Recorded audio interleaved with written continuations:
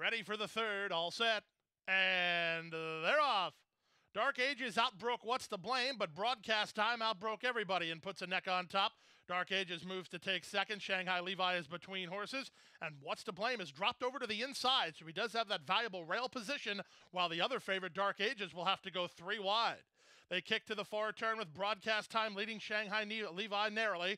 Dark Ages posted three wide but starting to gain, and What's the Blame's going to have to tap on the brakes.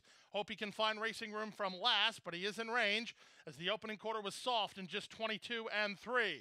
Dark Ages on the outside. Irad wants to see where Paco is. He has the lead on Dark Ages. Now Paco's going to come to his outside, and what's the blame? And the two favorites kick on from Shanghai Levi, and they're at the top of the stretch. On the outside, and what's the blame? Toward the inside, and Dark Ages. Dark Ages fights to hold it. What's the blame? Right alongside. Dark Ages on the inside. What's the blame on the outside? Dark Ages, and what's the blame? What's the blame in Dark Ages? Who wants it more? It's a photo finish.